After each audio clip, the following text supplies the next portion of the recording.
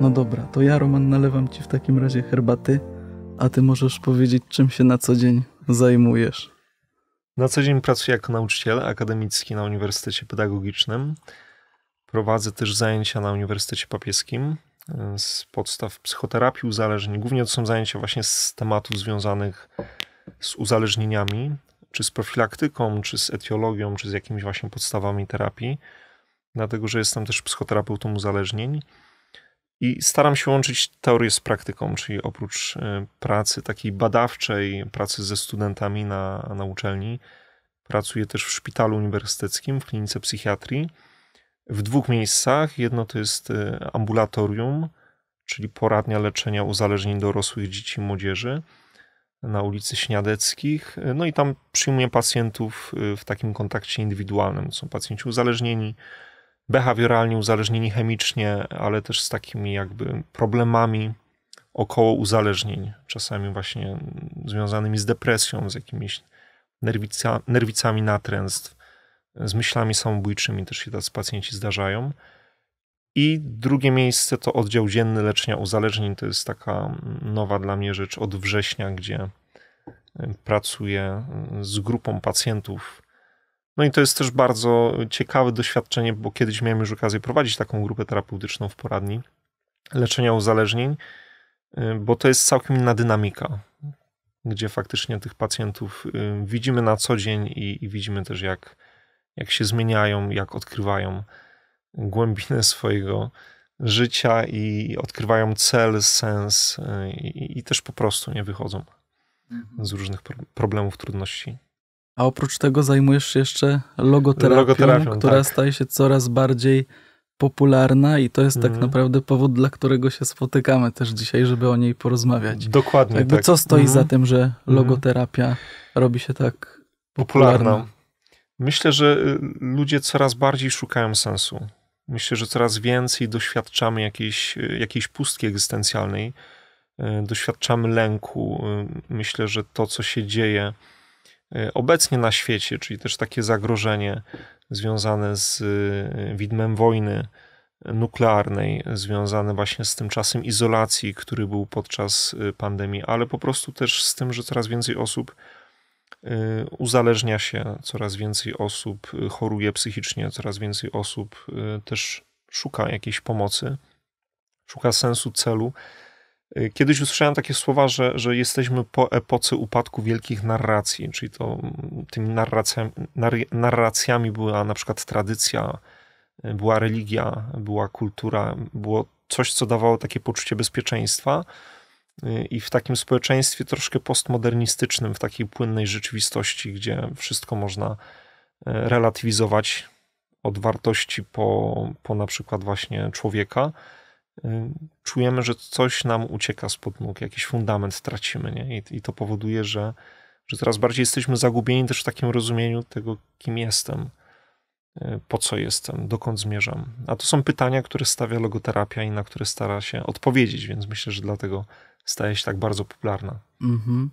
Yy, właśnie mówiąc o popularności logoterapii powiedziałeś o tym sensie, prawda? Mhm. Bo sens i logoterapia łączą się jakby przez samo to pierwsze słowo tego. Tak, przez tego logos. Słowa. logos. Mhm. Na początku był logos, czyli na początku był, był sens, e, można powiedzieć. E, I faktycznie logos jako, jako nie tylko słowo, ale sens z języka greckiego i terapeo, czyli leszcz, leczę, troszczę się, dbam.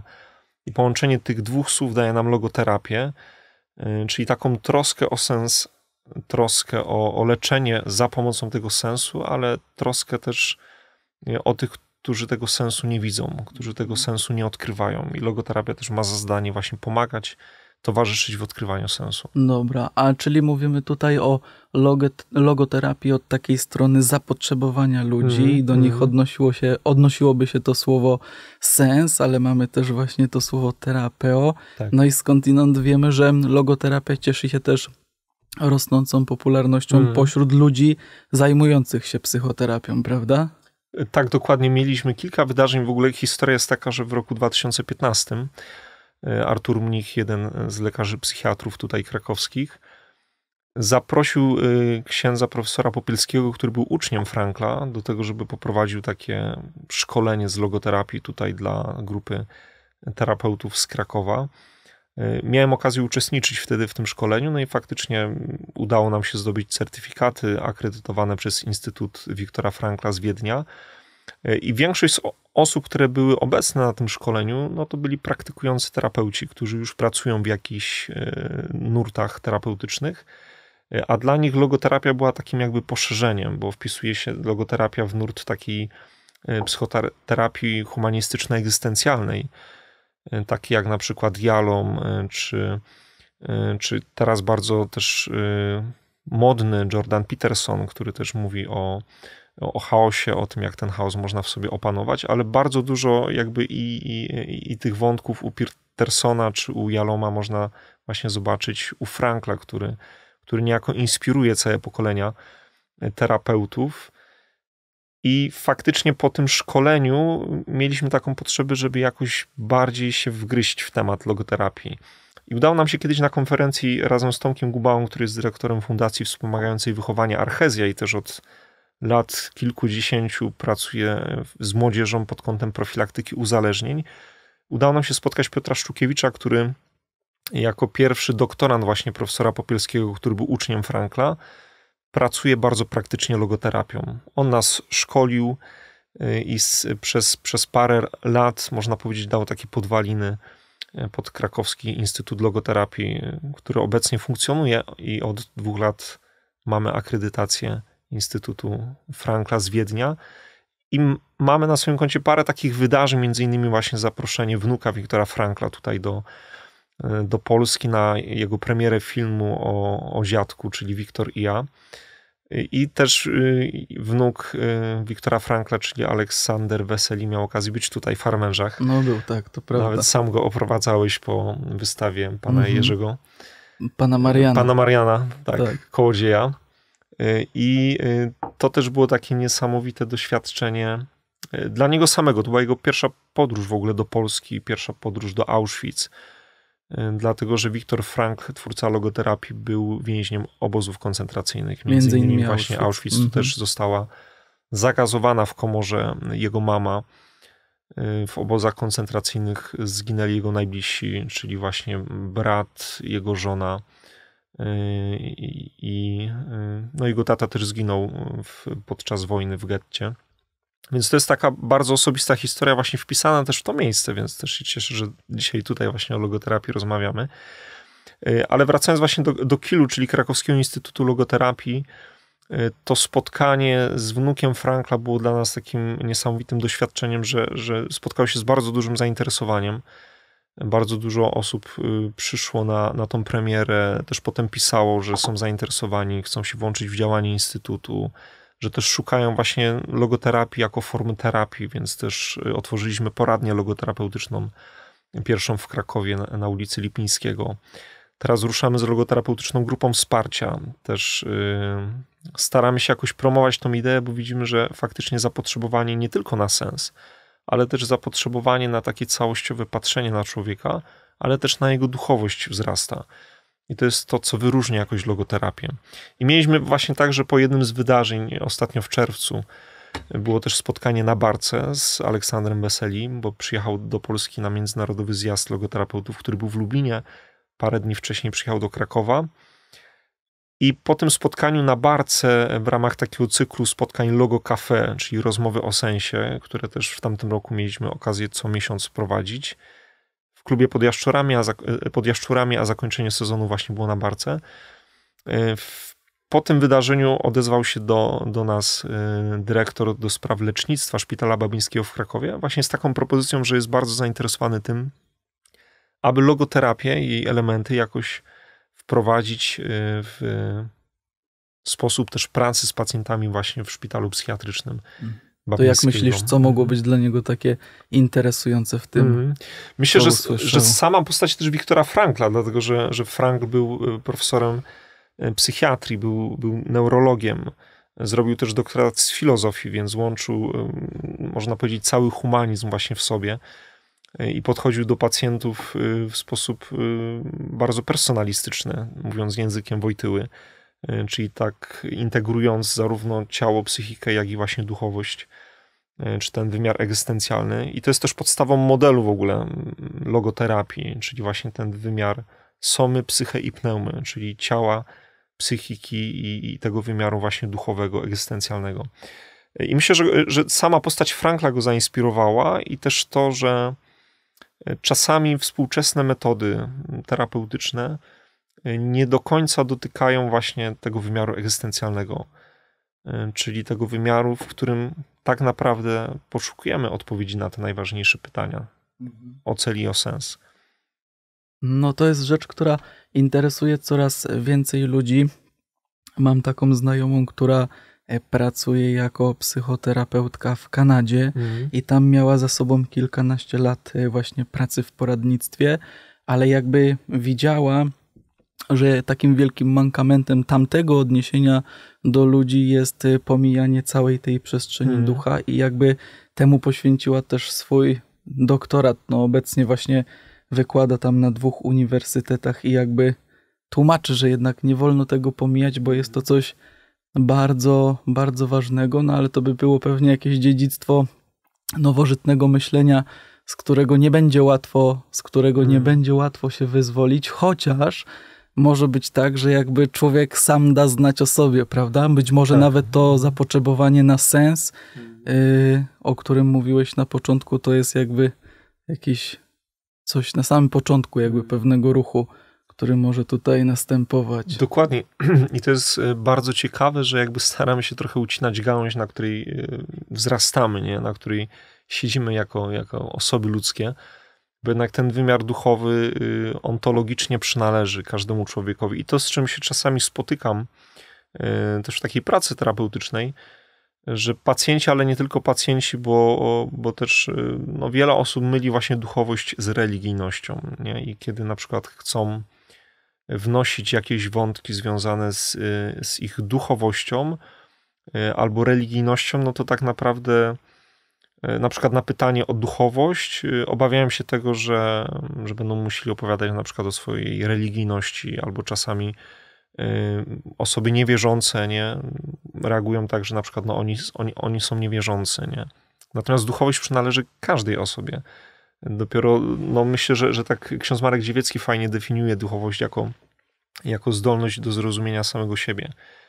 I myślę, że to jest y, też coś, co pozwala każdemu zrozumieć to, kim jest.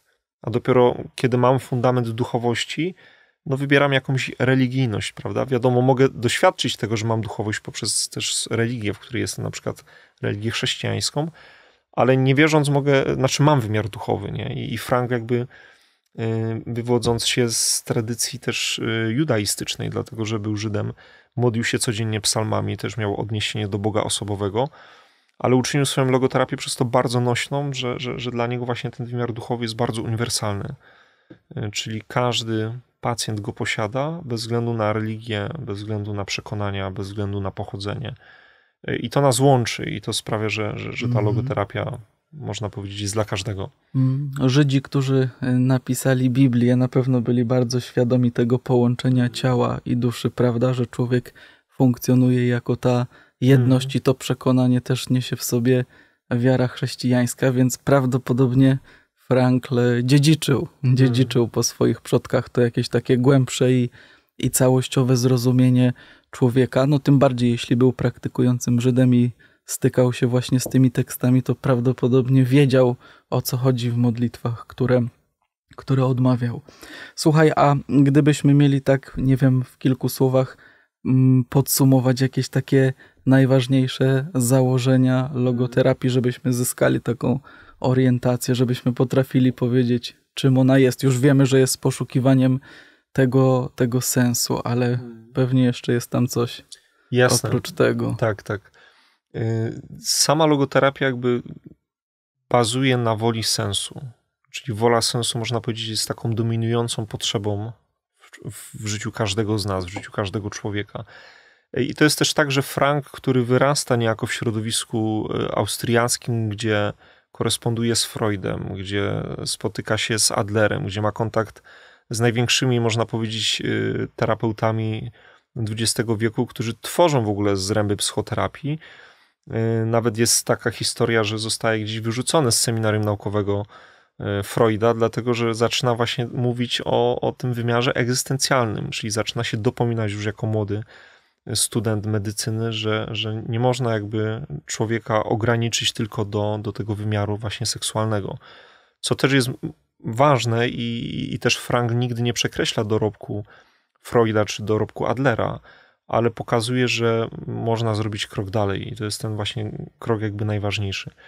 Z logoterapia y, zajmuje się też analizą wypartych treści duchowych, czyli stara się patrzeć na różnego rodzaju zaburzenia, które przeżywamy, nie tylko z takiej perspektywy powiedzmy frustracji, potrzeb y, związanych na przykład z emocjami, z relacjami, y, czy z ogólnie pojętym życiem psychicznym, ale stara się też patrzeć na to, że często zablokowanie e, swojego rozwoju duchowego również prowadzi właśnie do frustracji. Frank to nazywa frustracją egzystencjalną.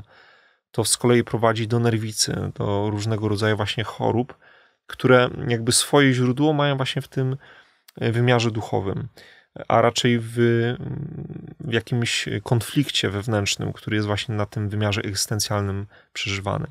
To, co jest ciekawe, to na przykład wartości. Nie? Dla Franka wartości są bardzo ważne. E, I w logoterapii jest takie rozróżnienie między wartościami deklarowanymi a realizowanymi. No bo każdy z nas jakiś system wartości posiada i, e, i czasami jest tak, że mm, no, potrafimy wskazać na wartości, które dla nas są ważne. Kiedy wykonuję takie mm, narzędzie logoterapeutyczne, test, jakim jest skala preferencji wartości z pacjentami, e, to to narzędzie świetnie pokazuje, jak wartości są przez pacjenta deklarowane, jako ważne, na przykład miłość, wolność, y, nadzieja, wiara, y, y, relacje z drugim człowiekiem, ale nie są realizowane. I tu się jakby pojawia właśnie ten pierwszy rozdźwięk, nie? Pomiędzy tym, że miłość jest dla mnie ważna, ale czy ja tą miłość w swoim życiu tak naprawdę realizuję? I kiedy robię też taki test zdań niedokończonych, to jest też takie narzędzie PIL, czyli tam Purpose in Life Test, ono świetnie pokazuje, kiedy pacjenci starają się mówić swoje pierwsze skojarzenia na różnego rodzaju wartości, właśnie z tego wymiaru też noetycznego, egzystencjalnego, to czasami się spotkałem na przykład z takimi odpowiedziami: miłość, blokada, wolność, coś awykonalnego. I to wtedy świetnie pokazuje, nie? że nawet jak ktoś uznaje, że dla niego miłość i wolność jest bardzo ważna i stawia to na pierwszym miejscu, to w przeżywaniu czy w realizowaniu tej wartości okazuje się, że że czuje się zablokowany, sfrustrowany, nie? że tak naprawdę ona się mu kojarzy z czymś nieosiągalnym, z czymś, co go ogranicza, e, czego nie może doświadczać. Nie? I, I tutaj też logoterapia pracuje właśnie na tym poziomie, nie? czyli jak przechodzić od tych wartości deklarowanych do realizowanych, gdzie jest ta frustracja, gdzie jest e, wypieranie pewnych treści duchowych, nie? E, i gdzie ta wola sensu jest w jakiś sposób właśnie zablokowana. Nie? To są, można powiedzieć, takie, takie fundamenty Mhm. Wiesz, jak e, przygotowywałem się właśnie do tej naszej rozmowy i trochę poczytałem mm, o logoterapii, to mi się jakoś tak nasunęło takie podsumowanie, że można by to właśnie zawrzeć w trzech słowach: całość, wolność, którą teraz poruszyłeś, i, i odpowiedzialność. Jesteś w stanie jakoś mhm. nawiązać do tego? Tak, myślę, że całość to cały człowiek. I tu faktycznie też warto używać y, y, tego słowa całościowy, integralny, bo często używamy słowa na przykład holistyczne, a, słowo holizm też bierze się z takiego monizmu jakby biologicznego, czyli on jakby to słowo nie oddaje właśnie tej całości, jaką jest człowiek, jeżeli chodzi o integralność tych wszystkich wymiarów. I faktycznie Frank jest bardzo spójny na przykład z Wojtyłą, jeżeli chodzi o antropologię personalistyczną i E, to jest też takie fundamentalne założenie logoterapii, która jest nieredukcjonistyczna.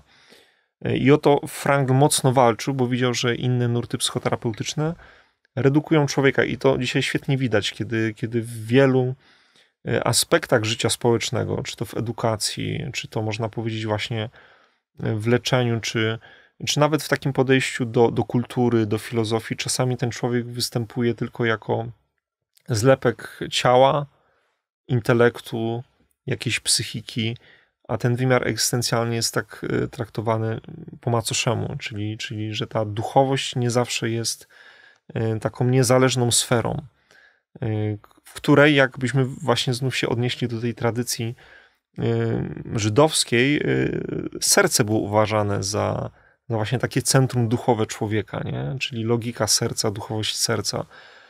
I to, to myślę nie jest przypadkowe, że, że Frank dość mocno z tego czerpie. Czyli dla niego jakby sferą integrującą pozostałe przestrzenie właśnie będzie ten wymiar duchowy, bo emocjonalność nie jest mi w stanie odpowiedzieć na wszystkie pytania, które sobie stawiam w życiu. A duchowość jest w stanie, mm, jakby pozwala mi na autotranscendencję, czyli tak naprawdę właśnie na przekroczenie granic y, determinizmów właśnie mojego ciała, mojej emocjonalności. Czyli tutaj wchodzimy jakby w tę wolność, tak? O której tak, tak, tak. I, I mhm. wolność jest właśnie tym wyjściem poza te determinizmy, dlatego że dla Frankla jakby nie ma sytuacji, y, w której nie moglibyśmy podjąć y, właśnie tego wyboru, bo ta wolność jakby jest w nas, nie? Czyli, że nawet w obliczu takich skrajnych doświadczeń, y, tak zwanych doświadczeń granicznych, jak śmierć, która spotkała więźniów w obozach koncentracyjnych, y, to Frank mówił, że zawsze człowiek wybiera, czy zachowa się przyzwoicie, czy nieprzyzwoicie. I sam miał doświadczenie y, jakby SS-manów, którzy byli w stanie zachować się przyzwoicie, y, a doświadczenie współwięźniów, którzy byli w stanie zachować się nieprzyzwoicie, czyli nawet zabić za, za kawałek chleba. Mhm. Więc to, to jest ta wolność wyboru, nie? Czyli ona tak naprawdę mówi o tym, jakim człowiekiem jesteśmy, nie? Czyli nie to, e, co wykonujemy w danym momencie w naszym życiu, ale, ale jak się zachowujemy w sytuacji właśnie takiej granicznej. Ciekaw jestem swoją drogą, czy Frankl, kiedy właśnie znalazł się tutaj w Auschwitz, czy miał okazję być może od jakichś innych więźniów usłyszeć o świętym Maksymilianie, który w jakiś wyjątkowy sposób no, skorzystał z tej swojej wolności, zapanował nad sobą, też nad sytuacją, prawda, tak bardzo niesprzyjającą. Wiesz, jak czasem oprowadzam ludzi po tej naszej wystawie Labirynty, klisze pamięci e, Mariana Kołodzieja, o którym wspomnieliśmy już na początku, to wiesz, on był świadkiem tych wydarzeń, widział Maksymiliana, który zdecydował o tym, żeby oddać swoje życie za tego drugiego więźnia. I mówię ludziom na koniec, że żeby spróbowali sobie wyobrazić, jak bardzo niezależnym człowiekiem musiał być, mhm. skoro właśnie w tak trudnych okolicznościach był w stanie działać w tak właśnie bardzo niezależny sposób. Jasne. To jest dla mhm. mnie coś, coś niezwykłego. Mhm. No, to jest ciekawy wątek, też mnie e, to kiedyś zastanawiało, czy tacy ludzie mieli okazję się spotkać nie, w takim miejscu. No to oni się nie spotkali, nie? Bo tak. Maksymilian to 41, kiedy jego życie się skończyło, tak. a Frankl chyba w 43 Dru tak, tak, czy tak, drugim. Tak, po, po, po, dwóch latach od wybuchu wojny, mhm. tak, czyli to jest właśnie ten rok 42. Yy, I tak, nie spotkali się fizycznie, ale, ale to, co, co ich na pewno łączyło, yy, to właśnie ta antropologia patrzenia e, też na, na zło, jako to misterium iniquitatis, nie? Które, które było doświadczeniem wielu więźniów. Zresztą Frank też po, po wojnie pracował przede wszystkim na początku z więźniami, z byłymi więźniami, e, czyli z osobami, które faktycznie musiały się nie tylko uporać ze stratą kogoś bliskiego, ale nierzadko uporać z poczuciem winy czy z wyrzutami sumienia, dlatego że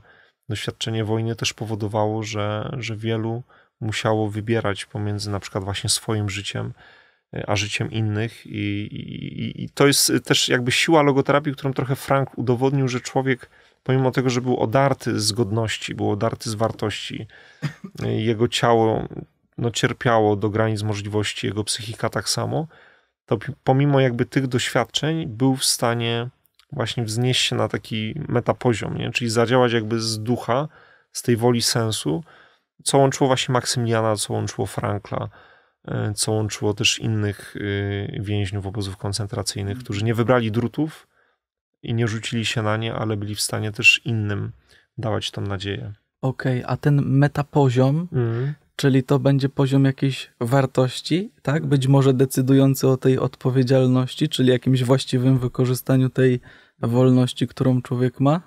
No, odpowiedzialność, no to takie też odpowiadanie działaniem trochę, nie? Więc, więc wolność i odpowiedzialność, no to to, co w terapii można powiedzieć jest też ważnym elementem,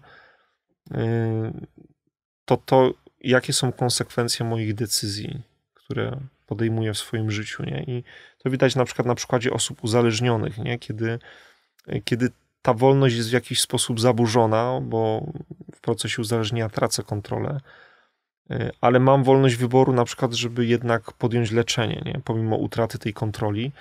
E, I odpowiedzialność, no to jest często to, z czym się konfrontuję, kiedy, kiedy zaczynam na przykład trzeźwe życie, nie? kiedy muszę się skonfrontować z konsekwencjami też swoich decyzji i przyjąć odpowiedzialność właśnie też za tą swoją wolność, nie? Bo, bo zanim utraciłem kontrolę i zanim pojawiła się choroba, jaką jest uzależnienie, no to pewne decyzje, wybory, które podejmowałem w swoim wolnym życiu, yy, no teraz jakby przynoszą takie konsekwencje, nie? Tego, że, że na przykład no jestem osobą uzależnioną.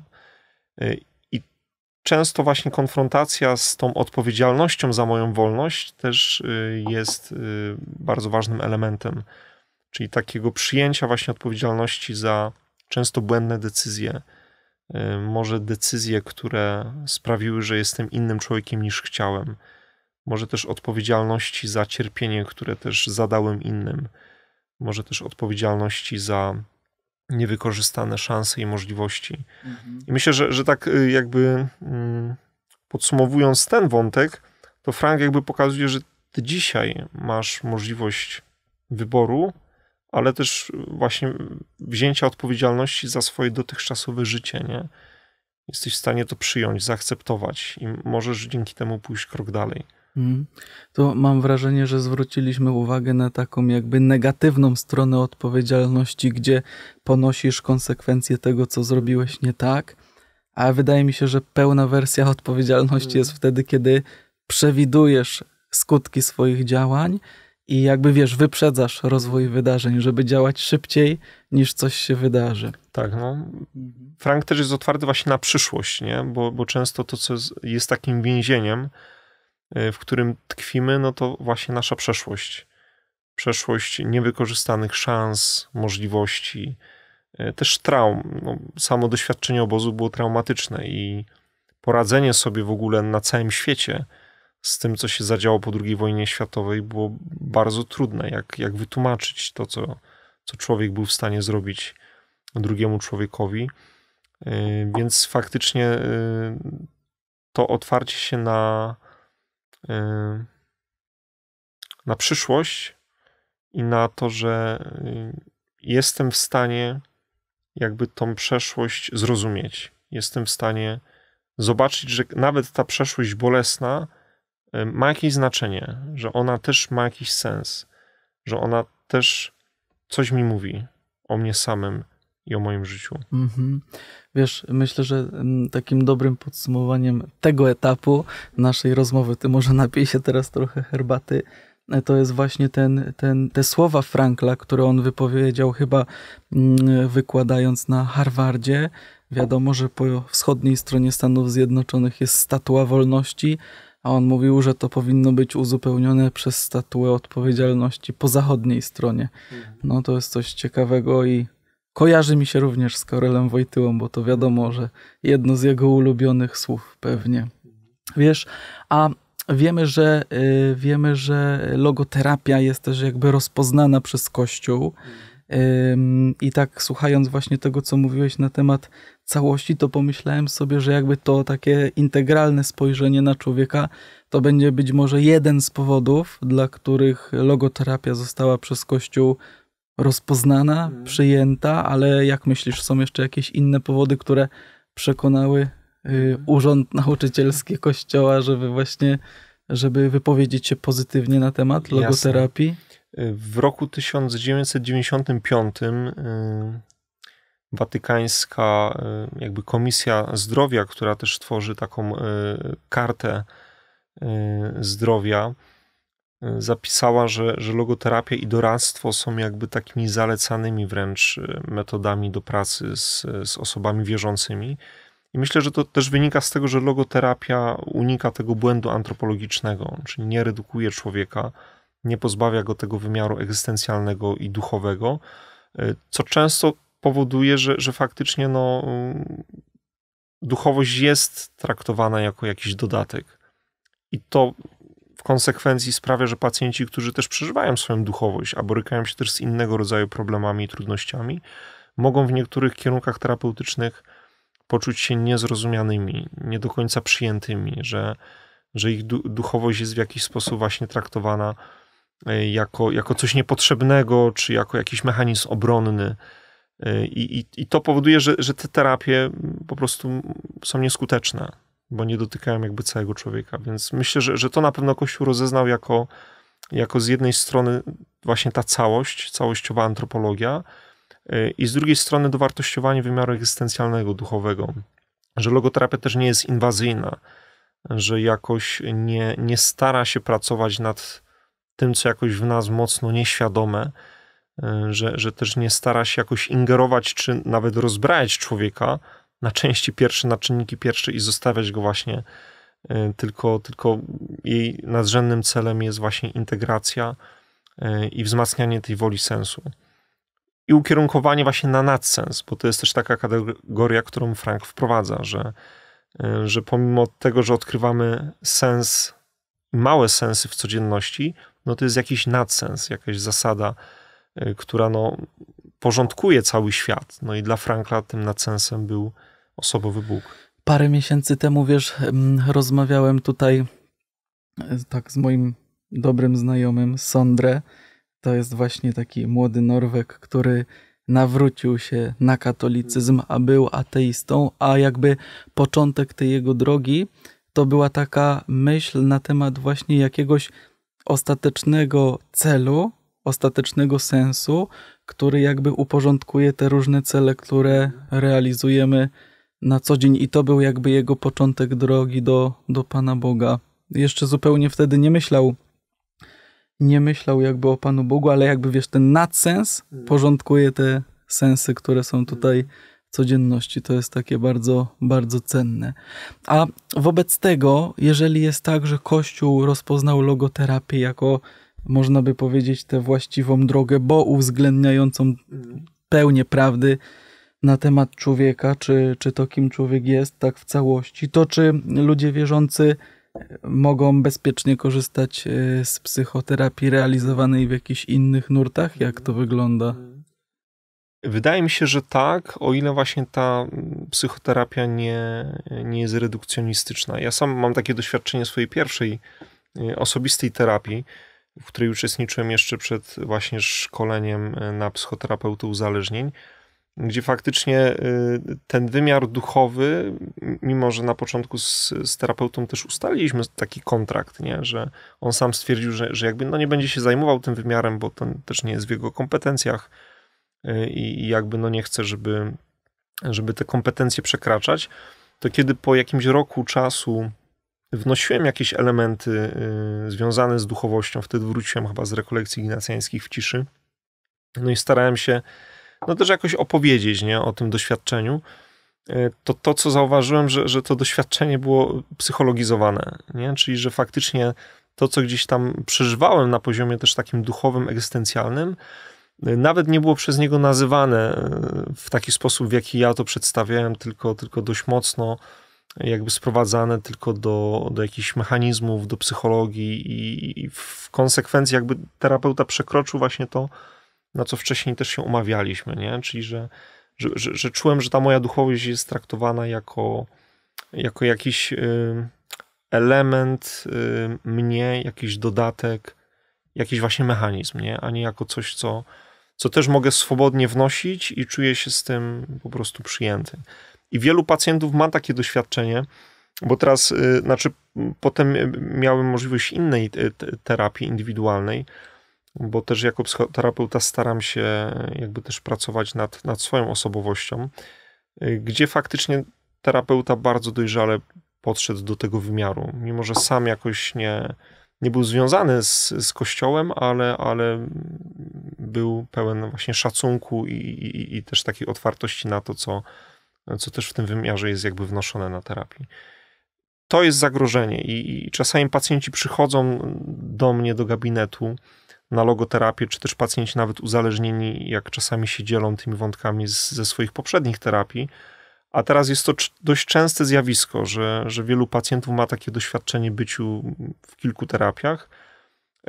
Pytają, czy ja będę mógł tu na przykład mówić o swojej wierze, nie? czy ja będę mógł tu mówić o swojej religijności bo na przykład na wcześniejszej terapii nie mogłem, nie mogłem w pełni i też się zastanawiam, czy, e, czy tutaj jest taka możliwość. Więc to jest bardzo ciekawe, co zresztą Frank też zauważył, że o ile dawniej, powiedzmy gdzieś tam w latach takich powojennych, e, nie wiem, 60., 70., pewnie do rewolucji seksualnej, tematem tabu była seksualność, a duchowość e, czy religijność była czymś normalnym, tak w XXI wieku doszliśmy do takiego momentu, że o wiele łatwiej nam się mówi o naszej seksualności, a o wiele bardziej jesteśmy skrępowani, kiedy y, przychodzi czas na to, żeby się podzielić swoją duchowością. Mm-hmm, mm-hmm.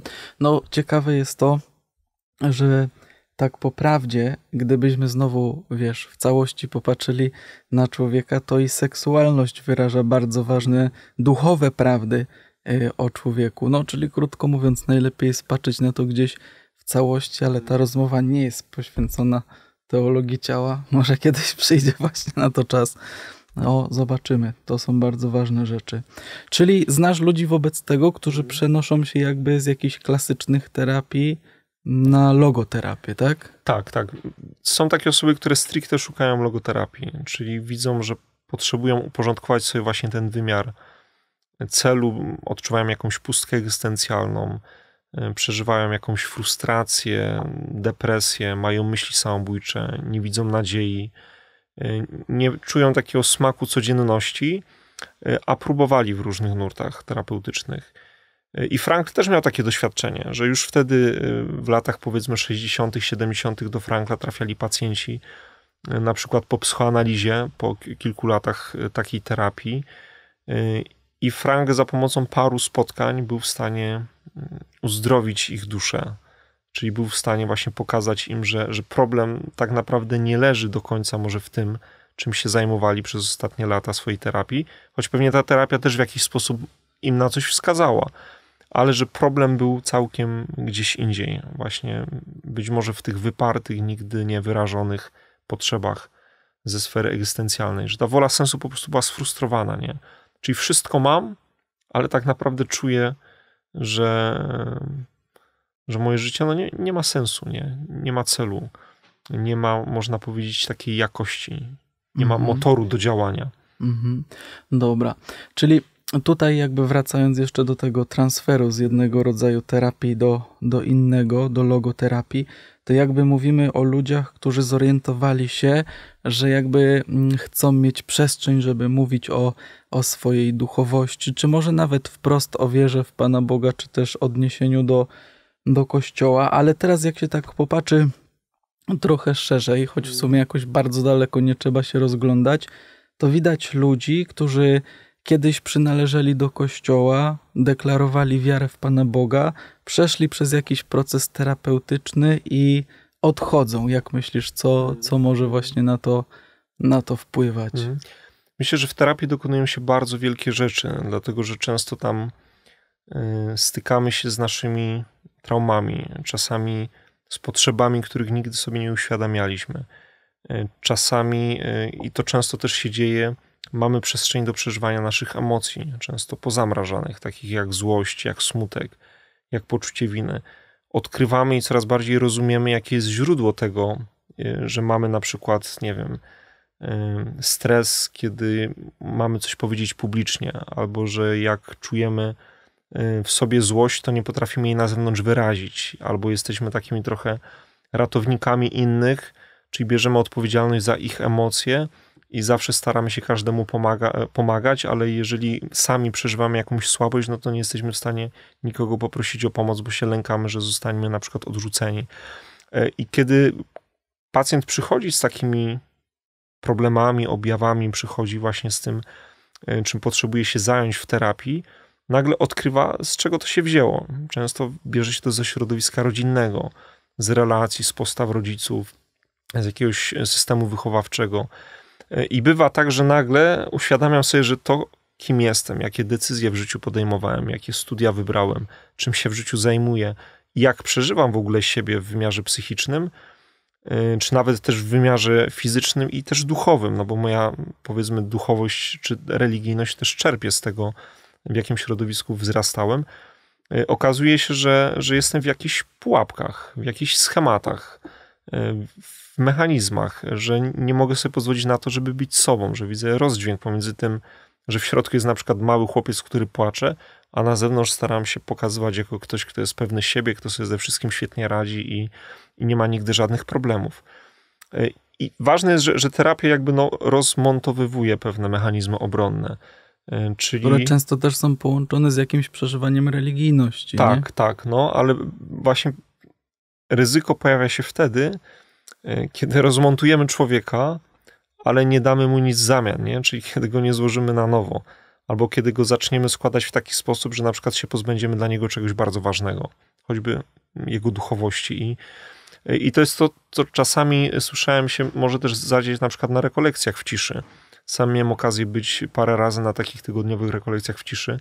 I wiem, że to jest bardzo mocne doświadczenie, kiedy człowiek może wreszcie siebie usłyszeć, może zobaczyć to, co, co się dzieje w jego myślach, co się dzieje w jego wspomnieniach, jak, jakie rzeczy przychodzą, kiedy jest odcięty od bodźców. A często uciekamy po prostu w, w bodźce różnego rodzaju, żeby zagłuszyć właśnie to, co, co sami na swój temat myślimy i, i co przeżywamy, kiedy się pojawia chwila ciszy i chwila samotności. I takie doświadczenie ciszy, doświadczenie rekolekcji, ale też doświadczenie w terapii może sprawić, że ja nagle y, no, zobaczę te wszystkie elementy, y, że te puzzle, można powiedzieć, się jakoś rozłożą i, i to będą jakieś takie fragmenty, które trzeba jakby na nowo zintegrować, aby, aby faktycznie moje życie na przykład było już pozbawione tych pułapek, tych mechanizmów, żebym czuł się po prostu wolny, nie? Bo, bo terapia też to ma na celu, żeby poprawić jakość życia i żeby uwolnić nas z różnego rodzaju właśnie takich Y, takich mechanizmów, czy, czy właśnie schematów, w których tkwimy od, od, od lat. Y, I kiedy nie następuje ten proces reintegracji, czy jak to powie Kazimierz Dąbrowski, dezintegracji pozytywnej, y, to tu jest ryzyko, nie? Że, że może ktoś rozmontować moje życie, moją historię, moje emocje, ale też przy okazji moją duchowość, która jest na przykład złożona, czy moją religijność, z tym, z tym jak, jak się rozwijałem na przestrzeni lat, y, ale potem tego elementu już nie złoży. Nie? Czyli na przykład nie pokaże, że co prawda może moja duchowość była często, czy religijność motywowana na przykład y, jakimś lękiem, jakąś obawą, jakąś potrzebą, y, czy była tradycyjna, ale właśnie nie popatrzy, że ona też miała jakiś sens wtedy, w tamtym momencie, nie? że ona też coś mi dawała, że, że ona nie jest czymś, co mi przeszkadza, ale, ale wręcz może się okazać czymś, co mi może pomagać, a nawet pomagało. Nie?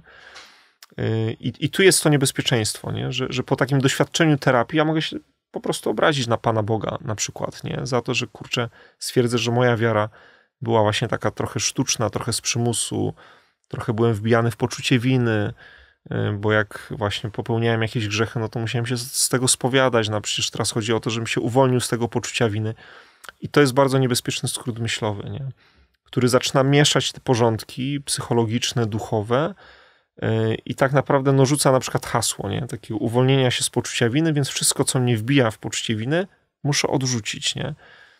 Y, a nie pokazuje tego, że, że, że tak naprawdę jakby to jest całkiem inna rzeczywistość, nie? Że, że, że duchowość czy, e, czy, czy, czy poczucie winy, że to nie jest, że Pan Bóg nie wbija mnie w poczucie winy, e, że tak naprawdę On mnie uwalnia od tego poczucia winy, nie? choćby przez sakrament e, pojednania, jeżeli on jest dojrzale przeżywany. Nie? Więc to jest to ryzyko. Nie? I dojrzale sprawowany ze strony spowiednika. I dojrzale sprawowany, nie?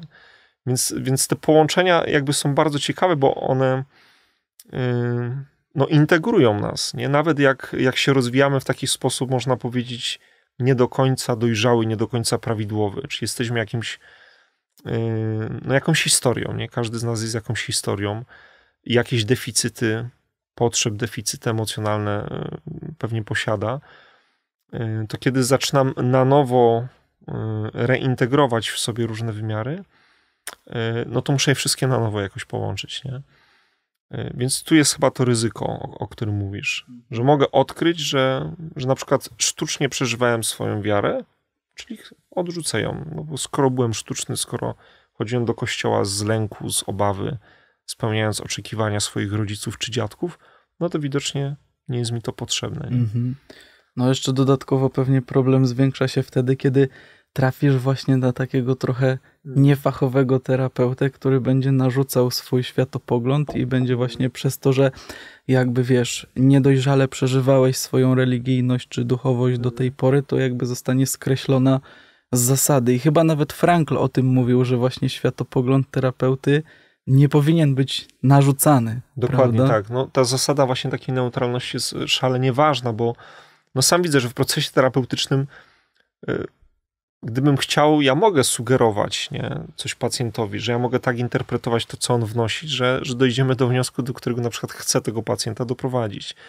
I to jest też mega odpowiedzialność, wolność i odpowiedzialność właśnie też terapeuty.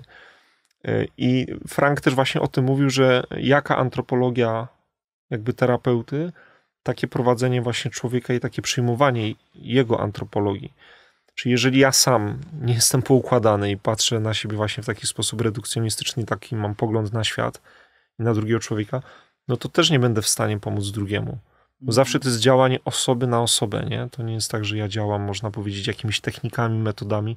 I świetnie powiedział o tym wnuk Frankla, jak był w Krakowie, że jeżeli chcemy rozwijać logoterapię, to nigdy nie, nie możemy rozwijać metodologii kosztem ontologii, nie? Że, że jeżeli, tak powiedział jakby nam jako takie przesłanie dla KILU, Krakowskiego Instytutu Logoterapii. Jak chcecie rozwijać logoterapię, to musicie iść w głąb człowieka. Czyli, czyli nie mnożyć technik i metod tylko, ale szukać jeszcze większego zrozumienia właśnie tego, y, kim ten człowiek jakby jest i jak można zadziałać właśnie sobą, y, czyli osobą na drugą osobę, nie? Bo to, co najbardziej leczy, no to właśnie też kontakt terapeutyczny. Mhm, mhm. Wiesz, ciekawe właśnie jest to, że jakby ludzie, którzy, dajmy na to, skreślają ten, tę przestrzeń duchowości, mhm. no myślą, że myślą niezależnie, podczas gdy jakby samo takie myślenie też ma swoje źródła, mhm. zostało, można by powiedzieć, przez kogoś rozwinięte, kto znowu żył w jakichś zależnościach, także tu jest ważna kwestia poszukiwania prawdy, poszukiwania prawdy i skoro mówisz też właśnie o tej antropologii, to takiej antropologii hmm. adekwatnej, o której skądinąd też co nieco wiemy, ale to znowu nie czas na tę rozmowę. Jeszcze jedna rzecz, że, Frank y, uznawał, że właśnie jakby zdrowa antropologia już sama w sobie może być lecząca.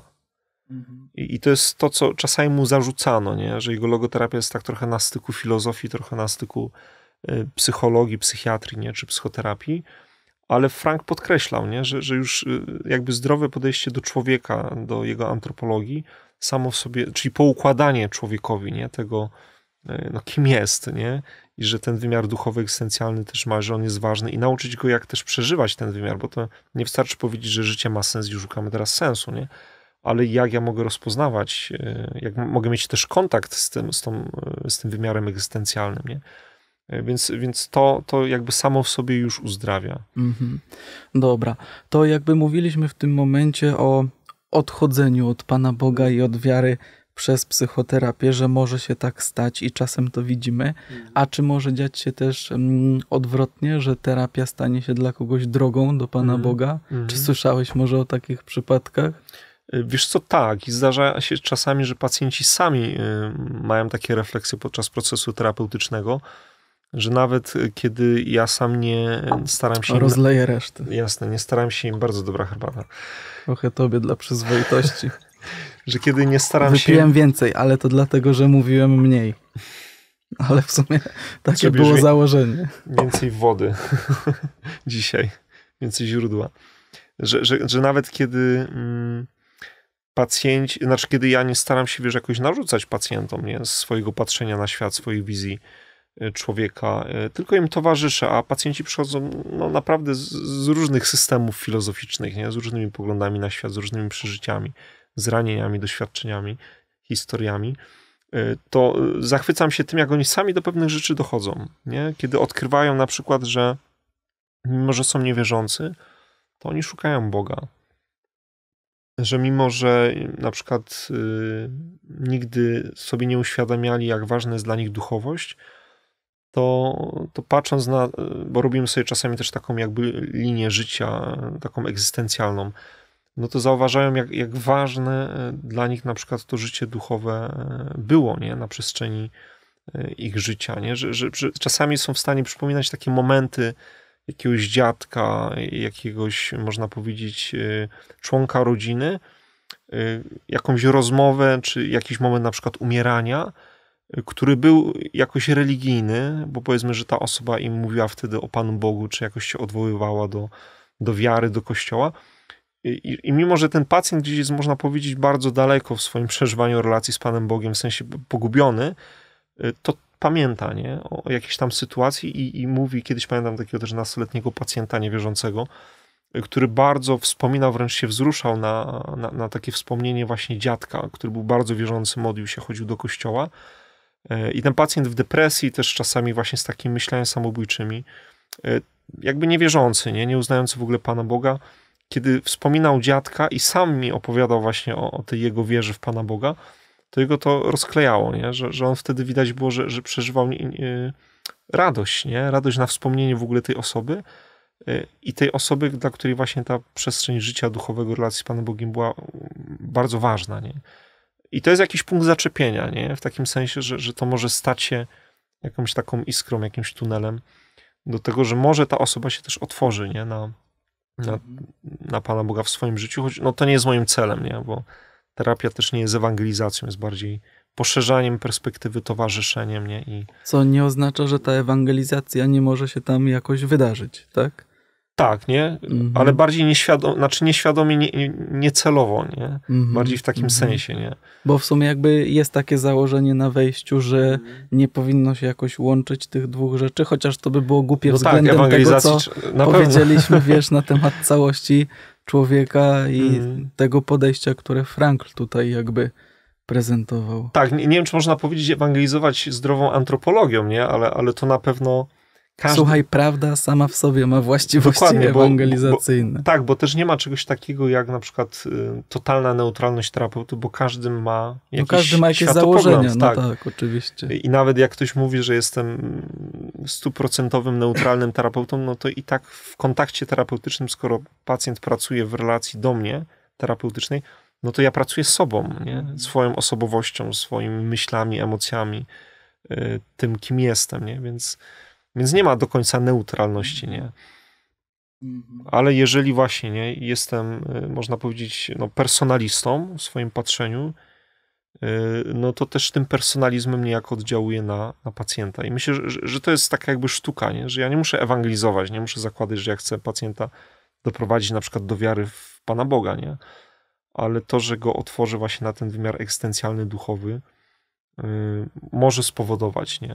No, w chrześcijaństwie właśnie fajne jest to, że wiesz, chrześcijaństwo ma takie bardzo mocne odniesienie do tak zwanych uniwersaliów, prawda, dobro tak, i tak, piękno. Tak, Jeśli tak. się poruszasz po tej przestrzeni, to mhm. tak czy inaczej mówisz o Panu Bogu, choć nie musisz go w ogóle mhm. nazywać Panem Bogiem, a i tak ludzkie myśli w tym kierunku pójdą. No wiesz... Powie, mhm. Powiem przekornie, nie? Że, że gdyby Y, wielu z pacjentów, którzy przychodzą na, na psychoterapię czy logoterapię, miało dobrych kierowników duchowych, y, to nie potrzebowałoby terapii, bo czasami faktycznie problemy, z jakimi przychodzą, y, są tymi problemami z obszaru wiary, z obszaru duchowości. Mówię teraz o pacjentach wierzących, którzy, którzy też często szukają właśnie sensu, szukają jakiegoś celu, czy też przeżywają jakieś kryzysy egzystencjalne a wielu z nich y, no nie, nie ma możliwości albo nigdy nie korzystało też właśnie z kierownictwa duchowego, więc czasami tak jest, że,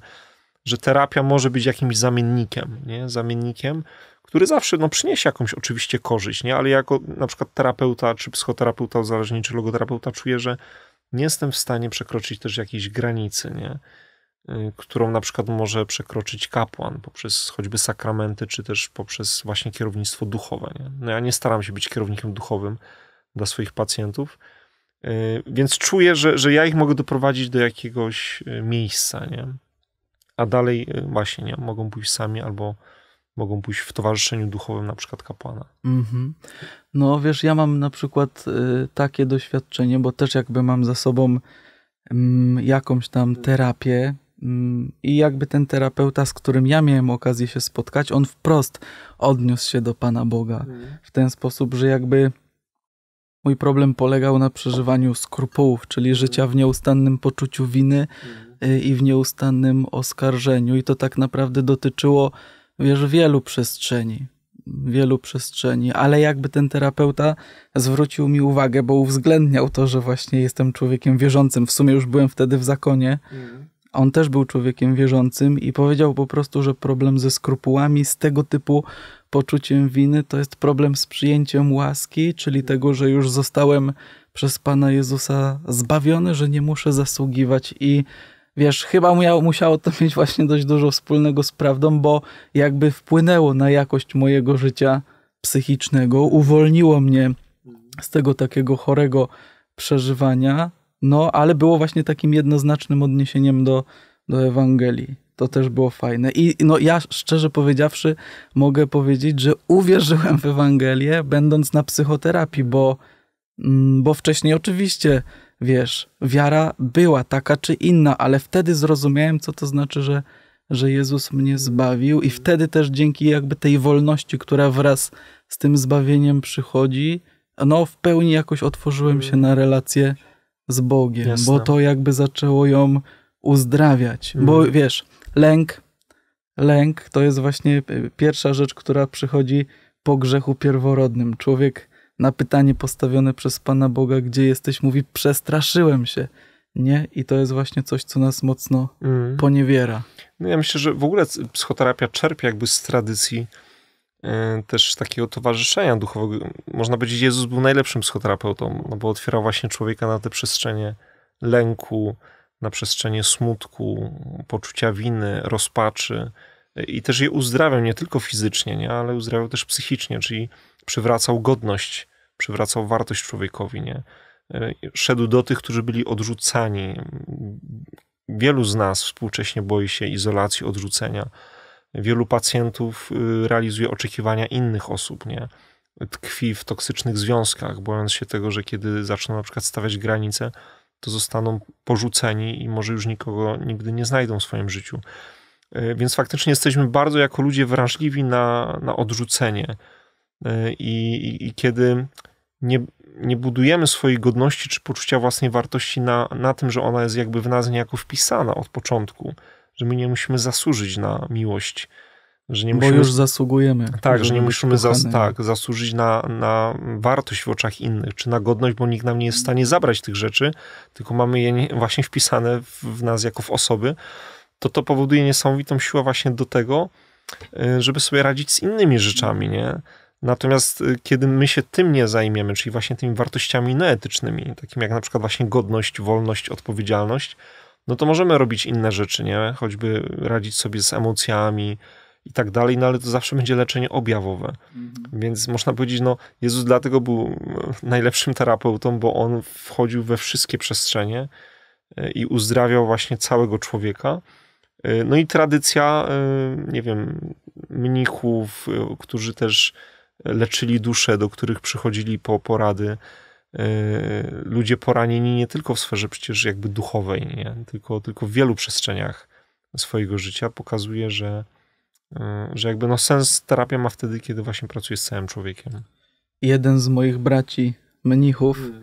zadał kiedyś Panu Bogu takie pytanie, dlaczego chcesz, żeby ludzie Cię kochali? Hmm. I Pan Bóg odpowiedział w swoim stylu przez pytanie, i zadał mu takie pytanie: A dlaczego ty chcesz, żeby ludzie cię kochali? No i to go pobudziło do takiej refleksji doszedł do wniosku, że chce być kochany, dlatego że na to zasługuje. Mm. I Pan Bóg odpowiedział mu samo. tak samo, że ja też po prostu na to zasługuję. I to jest właśnie coś pięknego, mm. z czym Bóg przychodzi, że zasługujemy na to, żeby ta nasza bazowa potrzeba była no, realizowana i że Bóg sam chce to robić. Mm. Roman, a jakby tak, mówimy o terapii, o ludziach, którzy zmagają się z jakimiś, można by powiedzieć, poważniejszymi problemami, bo jak ktoś się decyduje na terapię, to pewnie doświadcza jakiegoś y, większego trudu, A co można robić dla siebie tak na co dzień, żeby dbać o swoją psychikę? Mhm. Nie Taką- każdy musi chodzić na terapię. Taką higienę, nie? No, higiena psychiczna, Mhm, tak. mhm. Myślę, że e, autoterapię.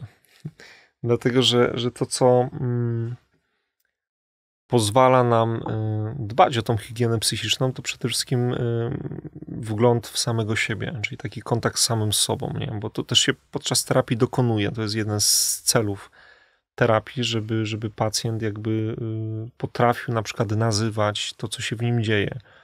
I nie tylko swoje emocje, ale, ale nazywać, czy rozumieć też schematy, mechanizmy, w których gdzieś funkcjonuje. A żeby to się zadziało, no to dla mnie na przykład takim elementem, który też może być uniwersalny, jest logomedytacja. Czyli można powiedzieć coś, co łączy z jednej strony, jeżeli ktoś jest wierzący, to myślę, że sama medytacja, nie? Zna- znalezienie czasu, ale nie czasu, który będzie przemodlony, przegadany, tylko czasu, który będzie spędzony w obecności. Czyli gdzie ja na, tak naprawdę, można powiedzieć, będę mógł usiąść właśnie obok tego Pana Boga i razem z Nim popatrzeć na to, co się we mnie dzieje. Nie? Czyli sobie też uświadomić, yy, jakie myśli przychodzą, jakie emocje, yy, jak ja reaguję też na słowo na przykład, nie? Które, które jest dane, dane na, na dany dzień, ale na pewno też taka, która pozwala mi na, na ciszę nie? i na to, żeby, żeby się skonfrontować właśnie z tymi na przykład lękami, z tym, z czym się nie mogę pogodzić w swoim życiu, żeby też odróżnić to, na co mam wpływ od tego, na co nie mam wpływu, bo to też jest jakby bardzo ważne, nie? Że, że często jakby no, sami siebie karmimy na przykład lękiem czy frustracją, bo nie odróżniliśmy na przykład rzeczy, na które nie mamy wpływu, od tych, na które mamy wpływ i frustrujemy się tym, że nie możemy czegoś zmienić, ale tak naprawdę nie musimy na przykład tego zmienić, albo nie możemy tego zmieniać. Więc taka logomedytacja dla tych, którzy na przykład też nie wierzą, czyli, czyli możliwość właśnie. Nie ma to jak oblać się herbatą. Wszystko będzie widać na szarym habicie, ale z boku. Śmieszne, prawda? No to muszę zdjąć kaptur, bo będę wyglądał w końcu śmiesznie. Niech sobie tutaj leży. Czy wiesz, Freud by się do tego przyczepił, nie? Tak. Czemu, Na czemu kiedy mówimy o, o jakieś logomedytacji nagle, wiesz, nie? Ale to zaraz ci coś powiem na temat logomedytacji. Ale myślę, że to jest też taka fajna forma, gdzie, czyli przestrzeń ciszy, nie? Y, Spotkać się ze samym sobą, z tym, co we mnie się dzieje, nie? Kiedy nie mam bodźców, kiedy nie ma ludzi, kiedy niejako o poranku jestem, rodzę się do nowego dnia, nie? Jestem sam. Yy, Bo, bo, bo to jest początek, nie? Czyli nazwać. Nie? Z czym, właśnie to jest taki fajny, z czym zaczynasz dzisiaj dzień, nie? Z jakimi myślami, z jakimi emocjami, bo często to, z czym zaczynamy dzień, powoduje, że ten dzień potem taki też jest, nie? Ale jeszcze wcześniej jest pytanie, z czym ja kończyłem wczorajszy dzień. Bo jeżeli też na wieczór się karmię, na przykład, nie? Jakimiś wspomnieniami, potem mi się śnią jakieś rzeczy, no to rano wiadomo, że się mogę obudzić z jakimś niepokojem po nieprzespanej nocy, nie? Czy, czy, czy że się budziłem często w nocy. Więc, więc to, to jest jedna z takich, myślę, fajnych, fajnych rzeczy, od której można zacząć. Nie? Pięć minut ciszy z, i spotkanie z samym sobą. No, wiesz co, mam takie odkrycie, że jakby wiesz, ta świadomość samego siebie to jest bardzo ważna. Bardzo ważna, że jakby musisz wiedzieć, co się w tobie dzieje. Mm, I bardzo dobrze jest też y, to jakby oddawać Panu Bogu, mm, no wiesz, baranek Boży, który bierze na siebie grzechy świata, czyli wchodzisz w świadomość czegoś po to, żeby to oddać, żeby tego nie nosić na sobie, tak jak święty Piotr pisze, że przerzućcie na niego wszystkie wasze troski, gdyż jemu na was zależy. I ważna jest świadomość, ważne jest dochodzenie do tego, co się we mnie dzieje, ale odkryłem w pewnym momencie, że, że męczy mnie przebywanie z własnymi problemami. W sensie, że wiesz, jest tak, że po prostu coś cię dojeżdża, krótko mówiąc. To są jakieś przeżycia, jakieś myśli, jakieś uczucia. I teraz jak logo medytujesz, czyli jak się modlisz, krótko mówiąc, to możesz się zajmować tymi problemami. Ale ja zauważyłem, że mnie to rozbijało jeszcze bardziej, a jakby taki pokój, który pomaga mi czasem uporządkować całe to zamieszanie, które powstaje, odnajduję w tym, że przestaję myśleć o tych rzeczach, które na mnie nacierają, a koncentruję się na Chrystusie, na Jego obecności w Najświętszym Sakramencie, albo myślę o Maryi, jak odmawiam różaniec, i mam takie doświadczenie, że jakby porzucenie tych innych rzeczy, czyli prawie myślenie o niczym, a skoncentrowanie się na tym jednym punkcie, na osobie Pana Jezusa, Pana Boga, wprowadza pokój, który potem pomaga też jakby, i to naprawdę jest tak poukładać te rzeczy, i to jest odczuwalne, odczuwalne, to jest bardzo ciekawe. Ale świadomość prawdy jest bardzo ważna. Leitmotiv moich nauk właśnie w konfesjonale i, i w jakimś kierownictwie duchowym, to jest to, żeby być właśnie z Panem Bogiem szczerym. To jest jedyny warunek tej relacji. Trzeba być z Nim szczerym i nie należy przebierać w słowach. Błogosławiony człowiek, który mówi prawdę w swoim sercu. No to jest kapitalne, bo, bo tym bardziej, że właśnie, zobacz, logo medytacji to jest i medytacja ze słowem, i medytacja z sensem, czyli tak naprawdę ze słowem, które niesie sens, nie? Dobrze mówisz. No. Y, I, ja bym jeszcze do tego dodał, dla tych może, którzy nie do końca potrafią też nie, nie odnieść takiej relacji bezpośredniej na przykład do, do Maryi, do Pana Boga, bo tu już wprowadzamy właśnie ten nadsens, nie? Tu już wprowadzamy tą kategorię czegoś, co porządkuje właśnie to moje doświadczenie, nie? Gdzie w chaosie własnych przeżyć, myśli, emocji mogę się odnieść do czegoś, co jest stabilne, nie? I to jest y, też y, ciekawe, ciekawie koresponduje z tym, o czym mówiliśmy przed chwilą, nie? że ktoś, kto na przykład po terapii chce porzucić swoją wiarę, y, to często tak naprawdę on nie chce jakby porzucić swojej wiary, nie? czy Boga jako, jako osoby, nie? Czy, czy, czy, czy no, Boga jako trójcy, tylko że bardziej chce porzucić swoje niedojrzałe przeżywanie tej wiary, mm -hmm, nie? Mm -hmm. I tu jest ryzyko, że po, może pomylić jedno z drugim, nie? Czyli, czyli to, że ja uznam, że na przykład ta moja wiara no, była niedojrzała, że, o, znaczy powiem, że, mo, że wiara jest niedojrzała, a tak naprawdę to sposób jej przeżywania był taki, że ja na przykład nie wchodziłem tam całym sobą, że że byłem niewolnikiem jakichś lęków, obaw nie? i jakiegoś obrazu Boga, czy też obrazu siebie. Y, a ja bym dodał jeszcze do tego, że, że jeżeli nie mamy na przykład tej kategorii nadsensu, to sama świadomość tego, co w ogóle płynie przez tą głowę, jakiego typu myśli przechodzą, nie? jakiego typu emocje, nie? jeżeli to jest lęk, jeżeli to są jakieś natrętne myśli, to, to z czego one się biorą, nie? gdzie jest jakby ich źródło. Yy, to, to jest taki początek też drogi do zrozumienia, nie? Że, że skoro już, nie wiem, kolejny tydzień przychodzi mi jakaś obawa, jakiś wyrzut sumienia, jakiś lęk, jakaś sytuacja, to ja mogę z nią walczyć, nie? Ale walcząc tak naprawdę ja ją wzmacniam, bo dodaję jej energii, nie? A kiedy pozwolę jej niejako odpuścić, znaczy pójść dalej, ale, ale też się trochę jakby zatrzymam nad tym, żeby się zastanowić, gdzie może być jej źródło, nie? Czemu, czemu ten lęk się pojawia, nie? To, to jest jakaś informacja dla mnie. I gdzie jest właśnie, czy to jest bardziej lęk y, w ciele, czy to jest lęk właśnie mm, w emocjach, czy to jest jakiś taki lęk z głębszego poziomu, nie? Mhm. Czy to wynika z jakiegoś zamętu, że brakuje mi na przykład jakiejś informacji i czuję się niepewnie? Czy może jest tak, że ja we wszystkich sferach mam poukładane, a i tak przeżywam jakiś taki lęk, nie? Jakąś taką obawę, bo to może oznaczać, że właśnie on jest o wiele głębiej, nie? Mhm. Na jakimś takim właśnie mm, poziomie egzystencjalnym. Mm, to, na przykład mhm. no, boję się przemijania, nie? To odnosząc się jeszcze do tej niedojrzałości wiary, wiesz, mhm. ciekawą rzecz, którą zauważył wspomniany już wcześniej Sondre, y, że wiesz, czytał teksty tych nowych ateistów, oni krytykowali jakieś swoje zrozumienie na przykład Księgi Rodzaju, Potem kilka lat później zapisał się właśnie na ten program przygotowujący do przyjęcia sakramentów dla dorosłych już w Stanach Zjednoczonych i odkrył, że Kościół katolicki myśli na temat takiego zrozumienia niewłaściwego Pisma mhm. Świętego, to samo, co myślą ci ateiści, czyli jakby wiesz, oni krytykowali jakiś niedojrzały sposób rozumienia wiary, Kościół krytykuje to samo. No i właśnie dlatego w pewien sposób zgadzał się z ateistami. I, i tak sobie myślę, że to jest też trochę tak, jak mówiliśmy o tym rozmontowywaniu wiary czy duchowości, czyli patologicznej duchowości, mm. prawda? To mm. dobrze jest nie wierzyć w patologiczny sposób, tak. ale nie oznacza to, że sama wiara czy sama duchowość to jest jakiś problem, tylko trzeba znowu poszukać prawdy mm. na temat Pana Boga i na temat relacji z Nim. No, dobra.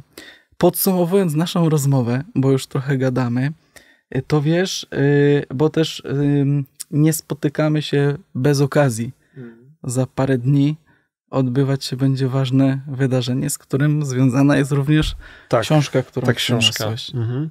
13 października będzie miała miejsce pierwsza ogólnopolska y, konferencja Żyj z sensem, logoterapia jako odpowiedź na kryzys egzystencjalny człowieka. Y, I to będzie dość ciekawa konferencja, która będzie miała za zadanie jakby pokazanie właśnie możliwości zastosowania logoterapii w różnych przestrzeniach, nie tylko w psychiatrii, nie tylko w psychoterapii, ale też w resocjalizacji, bo Frank też pracował z więźniami, też w edukacji, w profilaktyce, w pracy z osobami niepełnosprawnymi, z którymi również Frank pracował, pokazując właśnie im, jak mogą odkrywać też tą wolność i sens pomimo właśnie cierpienia, dysfunkcji, które które przeżywają w swoim życiu. Również w coachingu, biznesie logoterapia ma swoje miejsce, bo coraz więcej osób pracujących w korporacjach doświadcza wypalenia zawodowego, doświadcza pracoholizmu, y, też doświadcza wielu pacjentów, którzy przychodzą właśnie stricte po logoterapię, to są pacjenci troszkę z tego profilu, nie? Czyli często dobrze zarabiający, pełniący różne ważne, odpowiedzialne funkcje, E, mający tak naprawdę wszystko, gdybyśmy popatrzyli na taką perspektywę ciała, e, czy nawet perspektywę jakichś takich zasobów społecznych wokół siebie, e, ale od, od, odczuwają pustkę, nie? Nie, nie mają sensu, brakuje im właśnie tej, tej siły motywującej do codziennego życia. I na tej konferencji jakby chcemy poruszyć te wszystkie wątki. Będzie też zaprezentowany też taki program logo profilaktyczny, E, cuder żyj z sensem. Cuder to są pierwsze litery pięciu sfer rozwoju człowieka, czyli ciało, umysł, duchowość, emocje i relacje. E, I to będzie też taki program dedykowany właśnie do, do ludzi młodych, po to, żeby rozwijać ich integralnie i też pokazywać, że ta sfera egzystencjalna, duchowa jest niezwykle ważna e, w edukacji i, i w ogóle w życiu. Podczas tej konferencji będzie miała też miejsce właśnie promocja książki, księdza doktora Rafała Szykuły, który jest teologiem duchowości. Ładna okładka. No, to jest właśnie Wiktor Frank, który jest też autor tej książki jest też logoterapeutą yy, i to jest też książka, która jest jakby no, yy, też dla nas o tyle ważna, że to jest taki pierwszy w Polsce jakby podręcznik, który łączy zarówno, zarówno teorię, czyli myślenie o logoterapii, antropologii, założeniach filozoficznych, właśnie z praktyką, bo jest tu dużo też o jej wykorzystaniu w takich obszarach jak właśnie różnego rodzaju nerwice, zaburzenia lękowe, właśnie depresja, jak można też pracować logoterapeutycznie, bo podczas tej rozmowy tylko dotknęliśmy tak naprawdę tematu logoterapii, więc serdecznie zapraszam wszystkich. Będzie też możliwość uczestniczenia online, bo już niestety nie mamy miejsc na udział stacjonarny. To dobrze. Ale właśnie tutaj też na, na kanale postaramy się, aby, aby ten link do transmisji, która jest bezpłatna, był obecny, można w konferencji wziąć udział. Y, serdecznie polecamy książkę i no i zapraszamy na stronę Krakowskiego Instytutu Logoterapii. Tam na bieżąco też są różnego rodzaju wydarzenia, warsztaty, które wokół logoterapii się odbywają. No to super. Chwała Panu. Dziękujemy. Dziękujemy i dziękuję za Twoje zaproszenie, a przede wszystkim za to właśnie, że tutaj przyjechałeś. Za moje zaproszenie? Za, odpo- za Twoje zaproszenie za... i za to, że odpowiedziałeś na moje zaproszenie. Okay. Dzięki wielkie, y, Marek, bo to dla mnie też była taka ważna rozmowa. Y, też pełna sensu i mam nadzieję, że ona też będzie jakimś takim może punktem zapalnym dla, niektó- dla niektórych osób, które faktycznie potrzebują też takiego wsparcia w, w swoim zagubieniu mhm. i że, że będą mogli mm, też jakoś właśnie odkryć się, otworzyć bardziej na ten wymiar egzystencjalny i też zobaczyć troszkę więcej światła. Mhm. Może w jakiejś właśnie frustracji czy rozpaczy, którą przeżywają. Mhm. Na początku był Logos, a Logos stał się ciałem. Wiemy gdzie? W łonie Matki Bożej. Także zawierzajmy te wszystkie sprawy jej i też wszystkich naszych braci i siostry którzy słuchali tej rozmowy. Amen. I niech ona nas na ten sens otwiera. Amen. Dokładnie. Dzięki Ci. Dzięki.